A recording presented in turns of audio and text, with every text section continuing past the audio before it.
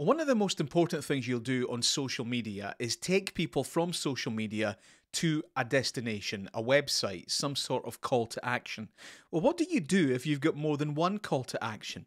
You don't just want to take people to your website and then have them have to navigate around to find your podcast, your ticket sales, your t shirts, your contact page.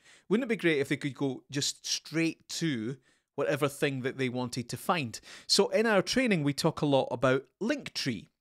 The only link you'll ever need. So the idea is that you replace the link in your social media biography with a Linktree link, and you can customize it and you can have multiple destinations, taking people straight to whatever it is that they particularly want to visit that day.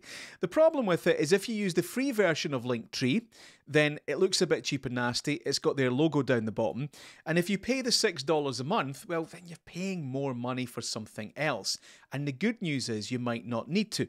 Enter Canva. If you're already paying for a paid or pro Canva subscription, which is about £10 a month, come up to uh, templates click on websites, and you can create Canva's version of a Linktree page. Uh, some of them can be quite uh, well designed, like this. This is called a BioLink website, and there are templates here to BioLink websites.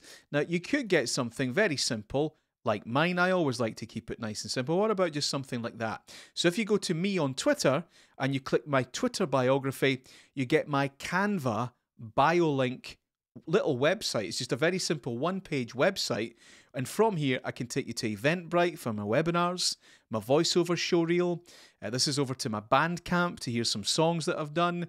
This is the corporate website for media training. You can go to Amazon here and buy my book, and so on and so on. So, one link with multiple calls to action.